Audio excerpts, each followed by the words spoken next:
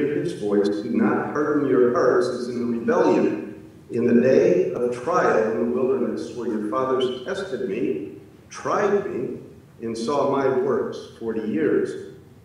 Therefore I was angry with them, with that generation, and said, They always go astray in their heart, and they have not known my ways.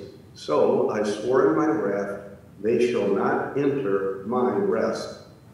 Beware, brethren, lest there be in any of you an evil heart of unbelief in departing from the living God. But exhort one another daily while it is still called today, lest any of you be hardened through the deceitfulness of sin. For we have become partakers of Christ if we hold the beginning of our confidence steadfast to the end. While it is said, Today, if you will hear his voice, do not harden your hearts as in the rebellion. For who, having heard, rebelled? Indeed, was it not all who came out of Egypt, led by Moses? Now, with whom was he angry forty years? Was it not with those who sinned, whose corpses fell in the wilderness? And to whom did he swear that they would not enter his rest, but to those who did not obey? So we see that they could not enter in because of unbelief. Now, this is the second of five great warnings in the book of Hebrews. I imagine we've talked about that before. Uh, this is the longest of the warnings, and whenever we read a warning, we ought to ask, what is it warning against? And I'm going to suggest that we can find the theme of this if we look at just a few words scattered throughout the passage I've read.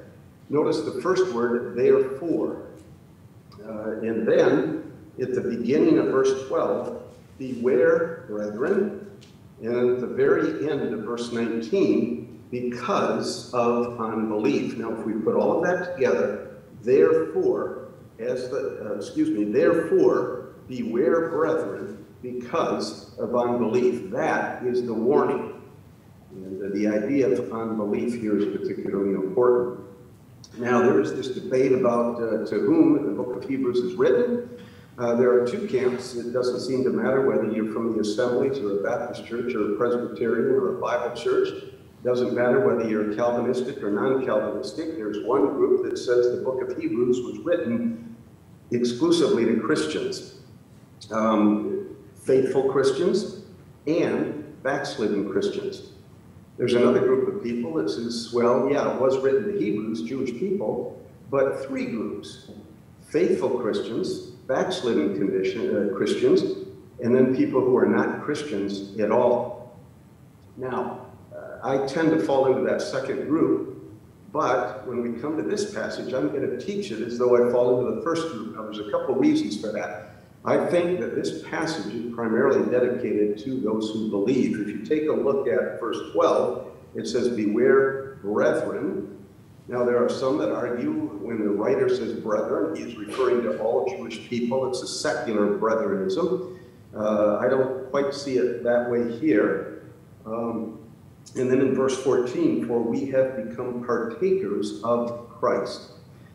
Uh, there's another reason why I'm going to treat it as though it's speaking to believers. That is because I assume I'm speaking to a believing audience tonight.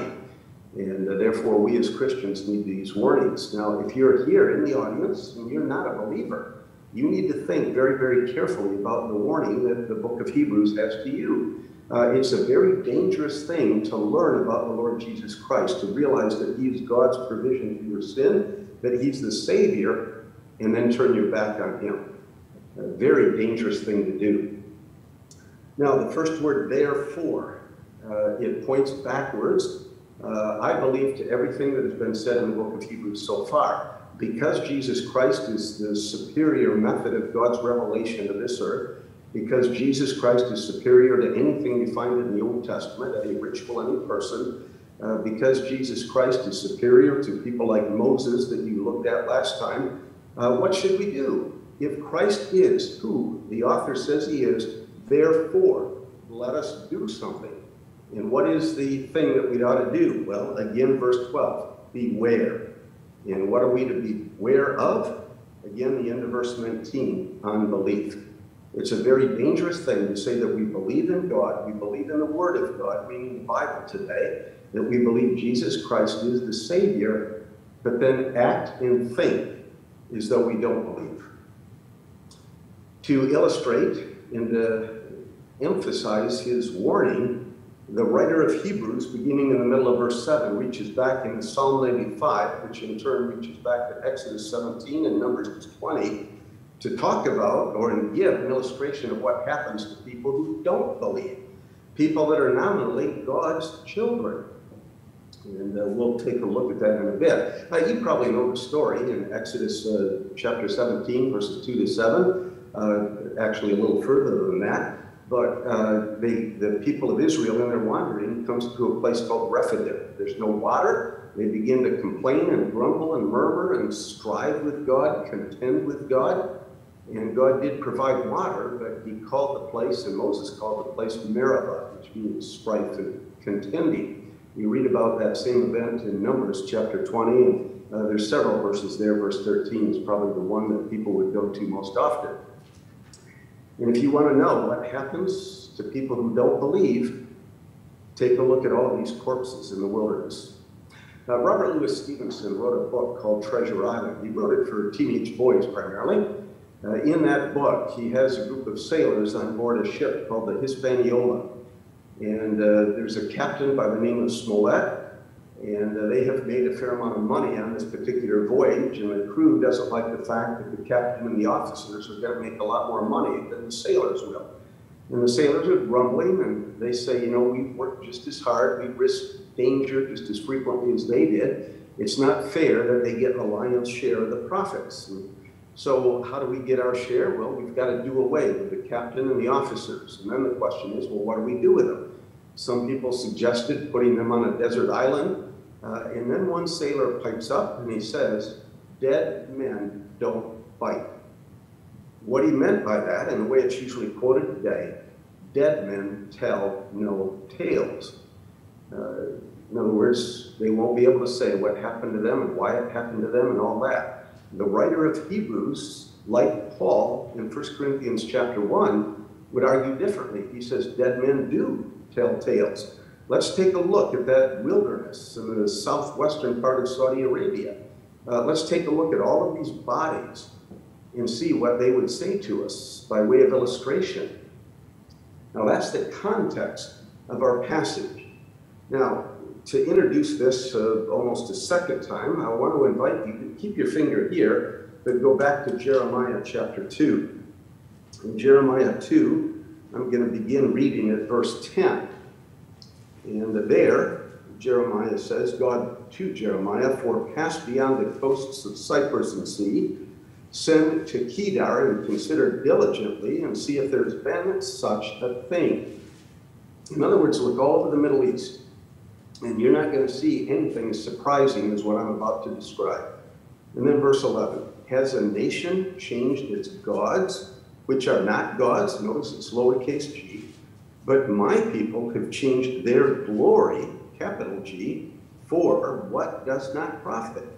Be astonished, O heavens, at this, and be horribly afraid. Be very desolate, says the Lord, for my people have committed two evils.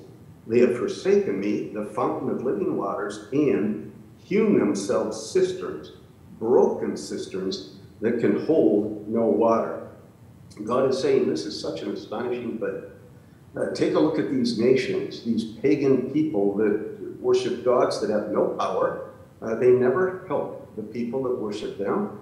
And yet, these people won't abandon those gods for a new God, for a God that seemingly can do something. Why? Well, it may be tradition, it may be their heritage. Uh, they still go to the same temples, they still have the same statues in their homes, and uh, they're dedicated to that. And yet I am a God that has done marvelous things for the nation of Israel. I brought you out of Egypt in a miraculous way. I parted the Dead Sea, one of the most amazing events ever to take place in the history of the universe. You've seen me defeat your enemies, and yet what's your response? You're willing to abandon me for something that doesn't profit you at the end of verse 11. That is an astonishing thing. It's astonishing to God. It ought to be astonishing to Israel. It ought to be astonishing to us today.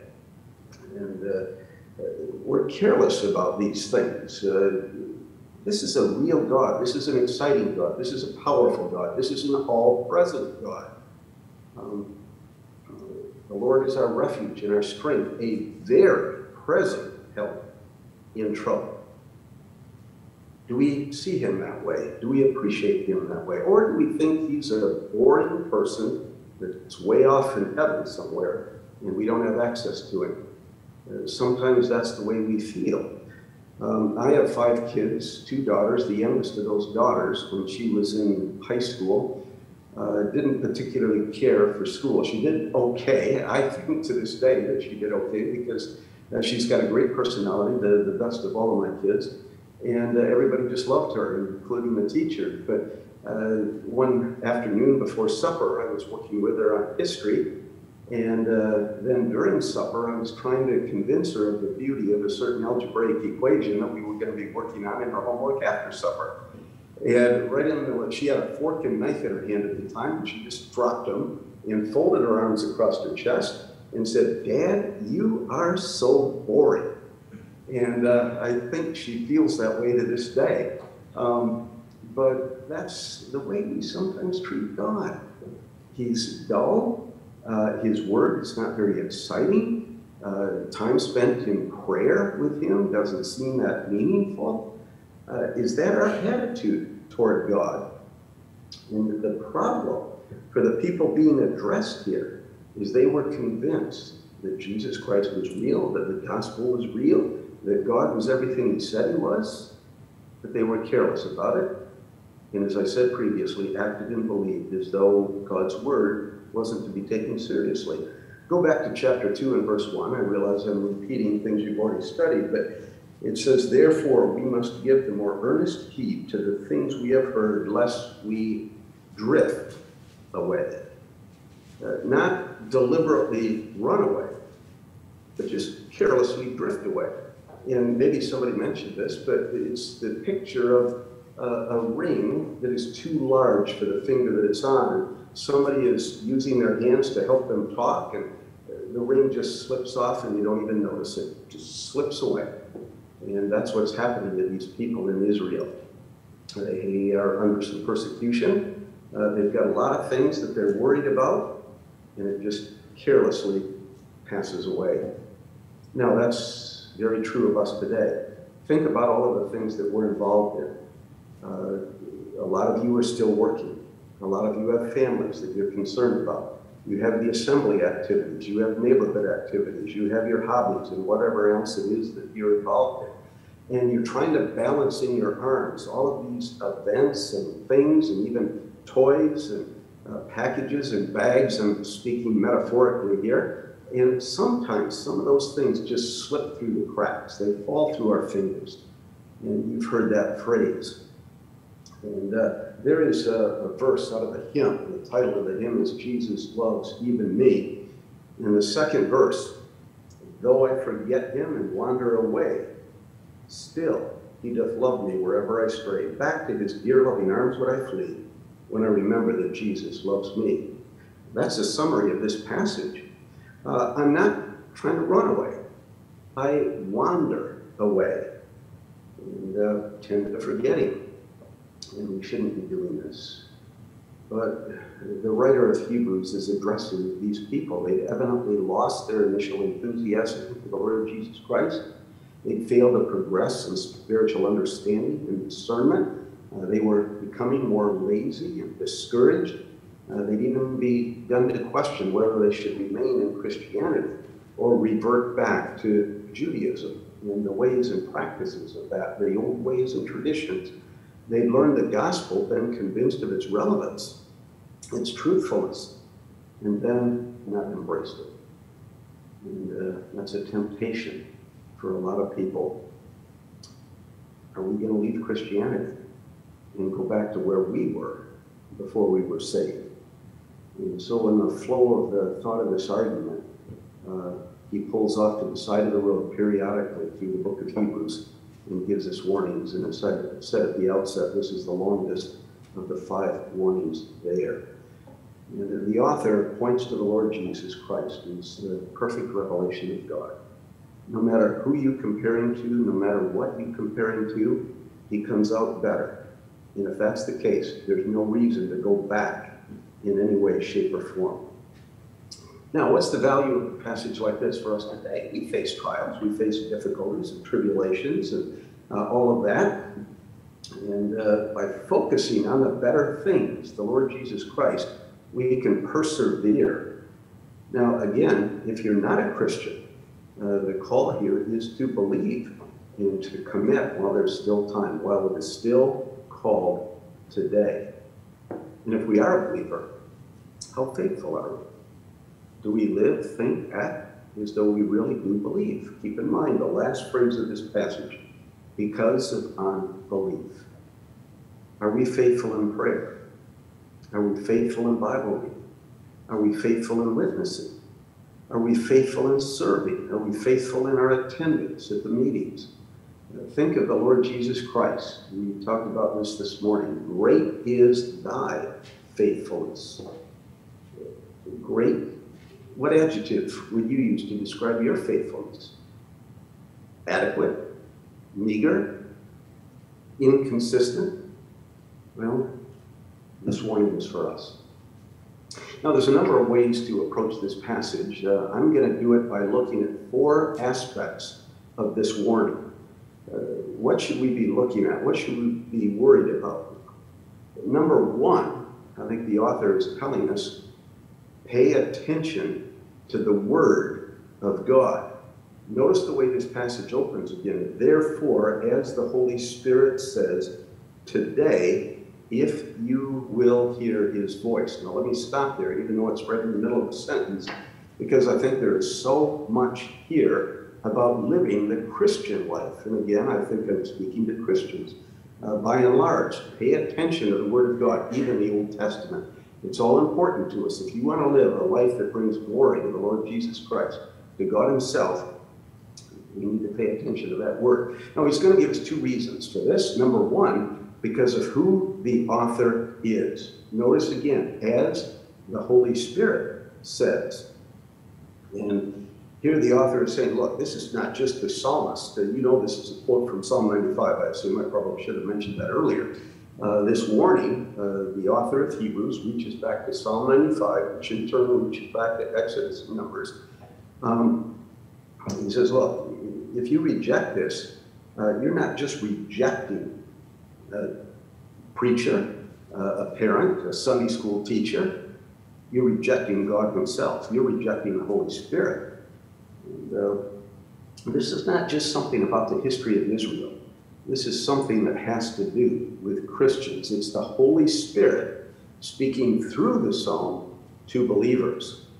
And again, the author, Holy Spirit. Now, look at chapter 4 and verse 7. For he has spoken in a certain place of this, whoops, yeah. Uh, verse 7, I'm reading verse 4 uh, verse 7, again, he designates a certain day, saying in David, Today, after such a long time, as it has been said, Today, if you will hear his voice, do not harden your hearts. The same quotation. In chapter 4 and verse 7, the author ascribes it to David. In chapter 3 and verse 7, he ascribes it to the Holy Spirit. What is it? Well, here we have the doctrine of divine inspiration. Uh, we learn that the Holy Spirit moves men to write and he does it in such a way that these men write down perfectly, exactly God's word, what God wants us to have. And uh, so, again, if you say no to the Holy Spirit, saying no to God. Uh, it's a monumental thing to say no to God, uh, to harden your heart, to turn from the Lord Jesus Christ. And then notice the tense of this. It's not the Holy Spirit has said, or the Holy Spirit will say, but rather the Holy Spirit says. It is present tense. Now, what the Holy Spirit says in the Old Testament, He is still saying in the New Testament, He is still saying today. In eternity, the Holy Spirit will still speak. You remember, I'm sure, Revelation chapter 2, Revelation chapter 3, these seven letters to the churches. At the end of every one, it says, Let him who has an ear, let him hear what the Spirit says, present tense, to the churches. The Holy Spirit is speaking today through His Word, just like the Lord Jesus did 2,000 years ago. So we want to pay attention to the Word of God, number one, because of the author. Number two, because of the relevance of the Word for today. Again, that word says, present tense, and you'll notice that he'll repeat it if you look in verse 15. Uh, and then in chapter 4, he's going to do it again. He's not speaking about something that just happened a long time ago on the other side of the world. These words are for you. By the inspiration of the Holy Spirit, they're for you, so that we can know how to live the Christian life. And the Holy Spirit speaks today with the same power, with the same truth, and just as much clarity as he did through David when Psalm 95 was first written. God is speaking to your heart and my heart whenever the Bible is opened and read, whenever you read it for yourself. And so, if we want to live the Christian life right, the first thing we need to see is that the author of Hebrews says, heed the Bible, including the Old Testament. There's a second part of this warning, and that is pay attention to the warnings of the Word of God. Pay attention to the Word of God. Pay attention to the warnings. And, uh, this warning is for you, Christian, and the unbelief and the rebellion of Israel in the wilderness. Learn from that. And if you're going to live the Christian life, pay attention to these warnings. And it's not to be a discouragement, but rather an encouragement to lead this. Now, again, uh, there are two reasons for this part, this aspect of the warning. Number one, because of the cause of this warning, and it's unbelief. Uh, take a look at verse 9, where your fathers tested me, tried me, saw my works 40 years, and then this word again, therefore. Now, the context uh, helps us to find it a little bit differently than the open word uh, in verse 7, but therefore I was angry with that generation. That's why we need to pay attention to this warning. And then verse 19 at the very end, because of unbelief. The children of Israel get out into the wilderness. They've been miraculously delivered from bondage and slavery. Uh, they go from Egypt to the freedom of God's promise. And they go to the promised land. Why is it called the promised land? Well, it's because God promised it. It's His word. And if you get out there in the wilderness and say, I don't know that God is going to take care of us, I don't know that God can provide water, I don't know that God can take care of my uh, child or my food that needs to be on the table next week, next year, I've got a mortgage, I'm worried about that, I don't know that God can supply my need here. You're not believing God, you're not believing the promises of God. And that's what happened to these people here. They're out in the wilderness, it's hot, it's hard, they're scared. And what do they start to do? They grumble. They grumble against God and they grumble against Moses. And they begin to say, you know, we had it so good in Egypt. Now think about what they're saying. Uh, it was so great to be a slave. It was great being beat up by somebody. It was great not getting paid for the work that we did. Uh, it was great being mistreated. It was just so wonderful. I wish I was back in Egypt.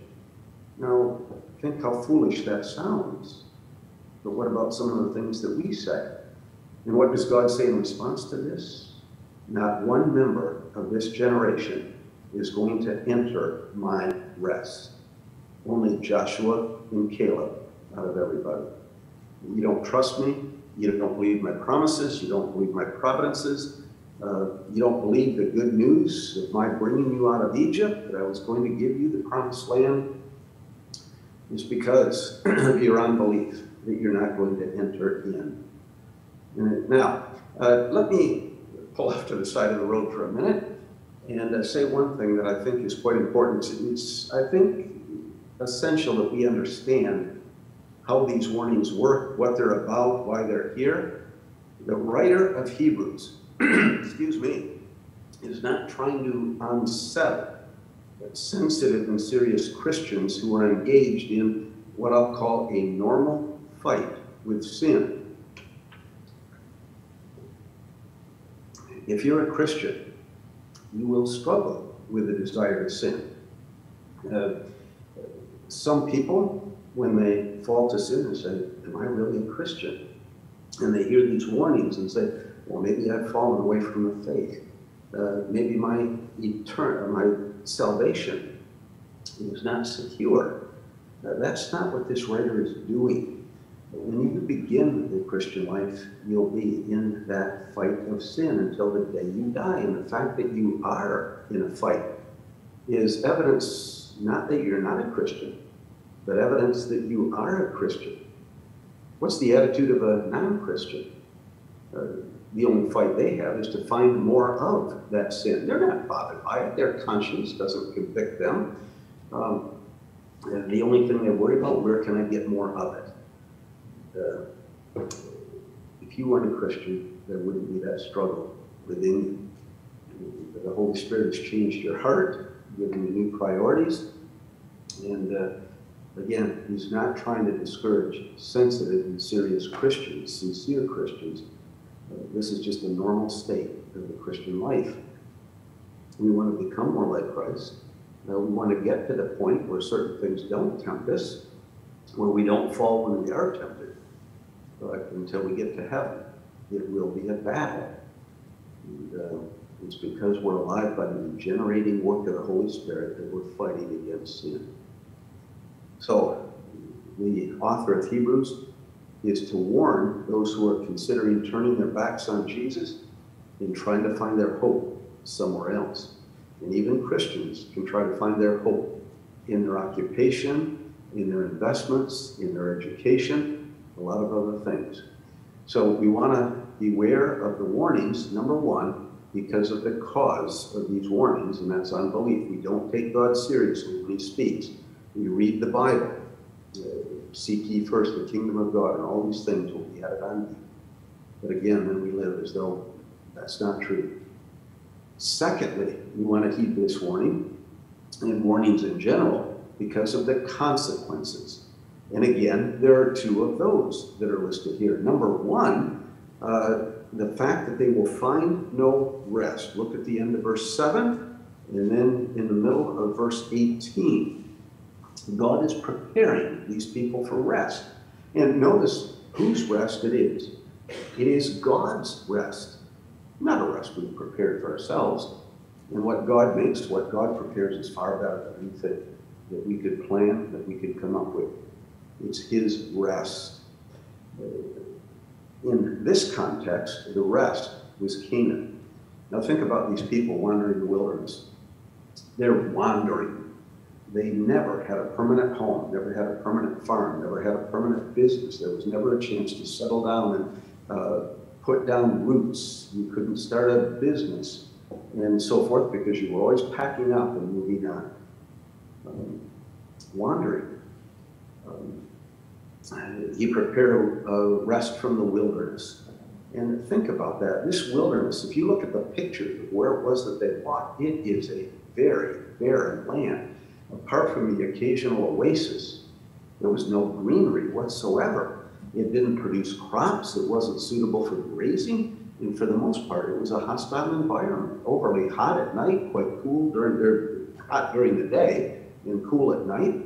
And God said, "Look, this promised land, this place called Canaan, a very pleasant place. All kinds of pasture land. It'll produce abundantly. It's a land flowing with milk and honey." He also prepared a rest from weariness now, when I thought about that, I, it struck me that if you study the wanderings, the people of Israel moved from point to point to point. Sometimes they would stay for a week, sometimes for probably a month. We get the sense, it doesn't say specifically, sometimes they stayed in one place for an entire year. All they have to do is go out every morning, collect the manna, and that's it. Uh, sit outside on your lounge chair and enjoy the sun. Now, we might think, what a brilliant way to live. But talk to somebody that has a debilitating disease that doesn't allow them to get out and do very much. It is a weary life when that's the case. God has said, I've come to give my sheep life And not only life, but abundant life. You read that in John 10 10. So, again, because of the consequence. Um, secondly, the first consequence, of course, is no rest. The second consequence is death. Uh, take a look at um, the idea of corpses here in the end of verse 17, whose corpses fell in the wilderness. Now, again, think about what the Israelites did. They get to the Jordan River. They look across the river. They can see what God has for them. They send in 10 spies, and they all come back and say, Yeah, this land is amazing. Take a look at the size of the fruit. Uh, let me describe the pasture land for you. It is rich. Ten of them, however, said, Yeah, but it's occupied by these giants, and there's no way even God is going to be able to give this land to us. Only Joshua and Caleb came back and said, Yeah, look what God is presenting to us. What was the response from God? Again, he said, All right, you're going to wander because of your unbelief. You're all going to die. Nobody's going to enter in. If you don't want it, okay, I'll give you that. Now, 1 Corinthians chapter 10 uh, somewhat of a parallel passage here, and if I could get to it quickly. Uh, in verse 5 of that chapter, uh, in the previous verses, verse 2, all were baptized into Moses in the cloud and the sea. They ate the same spiritual food, all drank the same spiritual drink. They were all blessed, in other words, blessed abundantly. And then verse 5, but. And it goes on to say, with most of them, God was not well pleased. For Here's the evidence of his displeasure. Their bodies were scattered in the wilderness. Can you imagine a 12 year old girl going to her mother and asking, Why are all these people dying? Uh, why are all of these gravestones set up throughout the wilderness? And the mother would have to look back and say, Well, unfortunately, it's our own fault. We didn't believe God's promise about the promised land. And because of that, we're being punished. Now keep your finger here. I do want to take you back to Romans chapter 1. Romans chapter 1. In verse 21, I'm, I'm going to sort of jump around here a little bit. I want to read verse 21 and then go back and establish the context. Notice, because although they knew God, that's what Hebrews is about, right? People who knew God, they did not glorify him as God, nor were thankful, but became futile, futile in their thoughts, and their foolish hearts were darkened. Now, let's go back to verse 18. This is the context. For the wrath of God is revealed. Why is that wrath revealed? Verse 19. Because what may be known of God, in other words, they've got the knowledge, and he talks about creation, and uh, conscience and all of that sort of thing. Verse 21. Uh, well, verse 24, you could put because there. Uh, they've got evidence. Verse 21, because they knew God. So over and over again, they know, they can see in nature, they knew God, and what did they do? Turn their back. And then verse 24, therefore God also gave them up to do what it was they wanted to do. And again, I don't want to get political here, but what's going on today? People say they don't want God, they don't want to obey the commandments of God, they don't want to follow the philosophies of God, the morality of God. And I wonder if God isn't saying, if that's the way you want it, I'll give you what you want. And then listen to people complain. Look at their attitude and so forth. And again, Hebrews 3, that's what they're going through. So, Aspect number one of this warning, pay attention to the Word of God, all of the Word of God. Aspect number two, pay attention to the warnings of God. And then number three, pay attention to the danger of unbelief. We see it in verse 12 Beware, brethren, lest there be in any of you an evil heart of unbelief. And then verse 19, so we see that they could not enter in because of unbelief. That's the third aspect of this warning. And what's the root sin in all of Scripture? What's the foundational sin, the master sin? That led the children of Israel into disobedience, that leads us into disobedience. People stop believing God. Stop believing his promises, his providence, as I've said before. Stop believing his good news. They lost faith. Now let's go back to the Garden of Eden for a moment. Um, you know the promise that God gave to Adam and Eve. Uh, here's this abundant garden. There are thousands of trees here. Help yourself to all of the fruit that you can see. But just to let you know that I'm God, I'm still in charge. There's one tree here. You can't eat from that tree. Now, we would think what an insignificant thing. One tree out of hundreds, thousands, who knows how many? One tree. But what does Satan do? He takes that one tree and, again, metaphorically speaking, drags it right in front of the porch of Adam and Eve. So every morning when they wake up and sit out on the front porch with their coffee, what do they see? That tree that they can't eat from. And Satan says, you know, you heard God's word. You know, he said, in the day that you eat of it, you shall surely die. Is God the kind of God that would kill you for something simple like that? You don't believe that, do you? And then, I'm reading into this, of course. If I were in charge here, I wouldn't restrict you at all. I'm a nice guy. I want you to enjoy everything. Uh, God is kind of a mean ogre if he's not going to let you eat of that fruit. And what did Adam and Eve do? They ate the fruit. Now ask yourself, if you really believed that if you ate something, you would die, would you ever eat it? Well, we know the answer is no. So the conclusion we have to come to is that Adam and Eve didn't believe what God had to say. Now, sometimes we talk about the unpardonable sin. And maybe you've got a slightly different view of this than I do, but I think it's pretty clear in Scripture that the unpardonable sin is unbelief in Jesus Christ. The only sin that can't be forgiven is the sin of rejecting him as your Savior. In John chapter 16, the Lord is in the upper room with the disciples. He's teaching them about the work of the Holy Spirit. And beginning in verse 8 of John 16, he says, And when he, that's the Holy Spirit, has come, he will convict the world of sin and of righteousness and of judgment. And then he's going to embellish each one of those points, expand on each one of those three.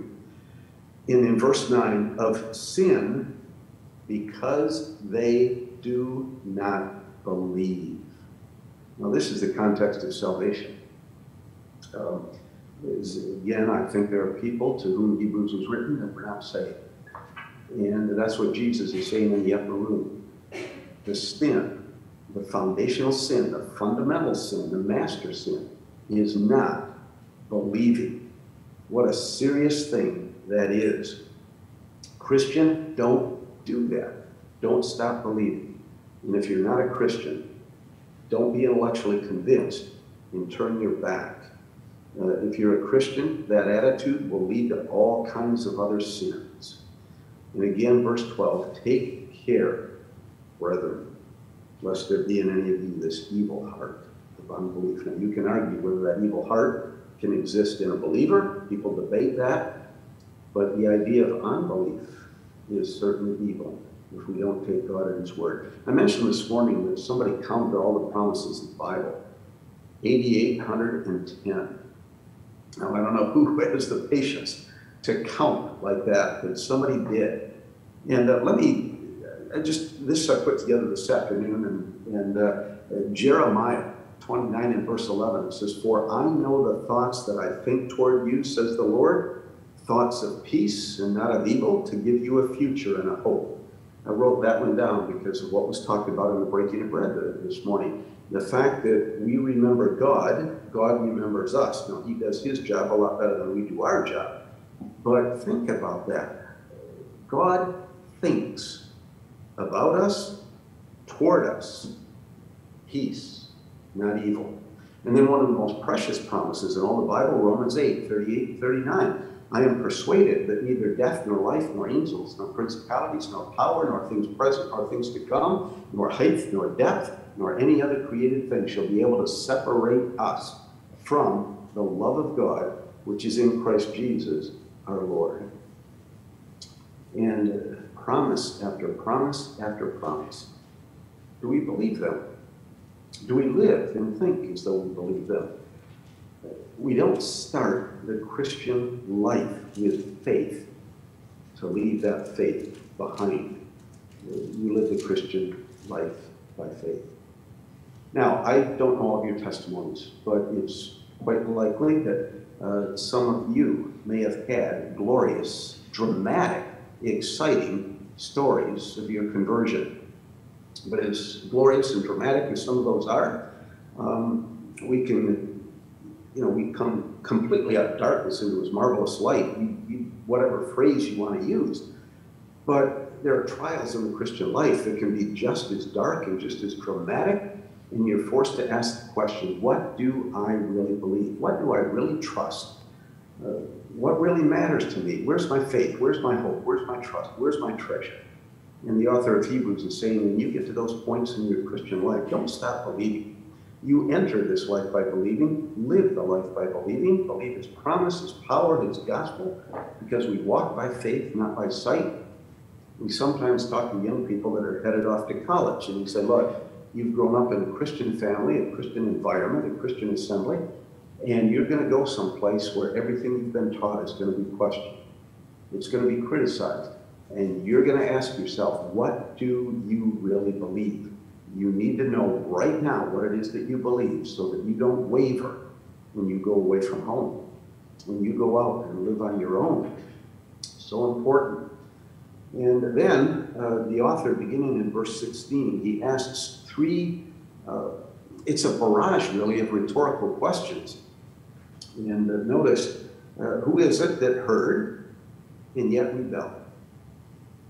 And the answer, wasn't it all who came out of Egypt led by Moses? The only exceptions, Joshua and Caleb, maybe Moses himself, but he did something else that was wrong. Uh, with whom was God angry? Well, wasn't those who sinned and then to whom did he swear they wouldn't enter into his rest? Those who didn't obey. And it all has to it all has to deal with this idea of unbelief. Rebellion, sin, disobedience. So we pay attention to the Word of God. We pay attention to the warnings of God. We pay attention to the danger of unbelief. And thirdly, fourthly rather, we want to pay attention to one another. Let me again read verse 13. But exhort one another daily while it is still called today, lest any of you be hardened through the deceitfulness of sin. Sin is very deceitful. Uh, Satan will make it look attractive, interesting, fun. We need to encourage one another. And I don't know if you think about this or not. Do you realize your encouragement may have that kind of benefit to another Christian. How often do we encourage other Christians to remain faithful? Do we ask them about their prayer life uh, kindly? Do we ask them about their time in the Word of God? Do we encourage them to keep going? Uh, I'm a rather stoic individual. I, my whole family jokes about coming from this Scottish English background, and as a result of that, not that emotional. You know, you look at Italians and you look at Indian people and they're, you know, close together and they're huggy, kissy kind of people and so forth. And uh, we English and Scottish people, not that way at all. And uh, I, years ago when I could still run, uh, was involved in, I think it was a 10K run. And uh, it was around a small town. It was a fundraiser for, I think, a library. And uh, so I get near the end, about a half a mile from the finish line and uh, there was my sister and a couple of my kids. Uh, my two boys were uh, in the race as well. And uh, these ladies on the porch were saying, keep going, keep running, you're doing well, and all that sort of thing. And, uh, I thought to myself, this doesn't mean anything to me. I don't care about this. I never heard them talk to my boys because they were so far ahead of me that uh, I never heard that. But um, yet, I think for the most part, uh, encouragement like that is meaningful. I can think of other areas of my life. If somebody encourages me, it is so helpful.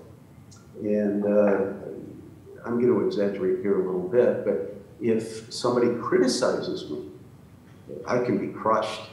You know, if I know that I've said something that's hurt other people, I've got into an argument that I shouldn't have, I won't sleep for two or three nights, that kind of thing. Think about that when you're talking to other people. We want to be encouraging. And that's the idea here. Exhort one another. Uh, later on in the book of Hebrews, you're going to be told that the reason that we meet together is to exhort one another, stimulate one another, to provoke one another to love in good deeds. One of the good deeds is believing God, spending time in prayer, reading the Bible, and all of that. Don't stop. That's what we tell other people. Uh, don't stop running. Don't stop believing on Jesus. Don't stop trusting the promises of the Bible. My time is gone here again. Um, this, I do think, has application to unbelievers. If there is anybody here that's not a Christian, uh, don't be afraid to ask somebody how you can be a Christian, what it means to be a Christian, what does it take to be a Christian. Uh, it's quite dangerous to walk away from God, and for those of us that are Christians, um, it's hard. It's a jungle out there, you know that cliche, a wilderness out there, but keep believing. Now, Father, we do thank you again for your word, and we thank you that it is a guidebook for life. It can be a blessing and encouragement to us. Even if other people don't encourage us, we know that your Holy Spirit does through this word. We thank you for this warning that we've looked at. We recognize it as application to us today. And uh, we pray that you would bless our Christian life and testimony with this. We ask it in his name. Amen.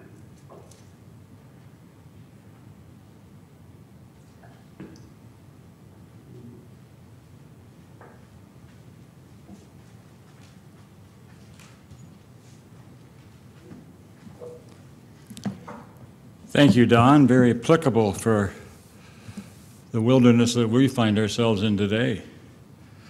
In closing, a short little hymn, 513. Oh, how he loves you and me. And let's repeat that. Oh, how he loves you and me. He gave his life. What more could he give? Oh, how he loves you and me. 513, the two verses, and the meeting will be over. Thank you.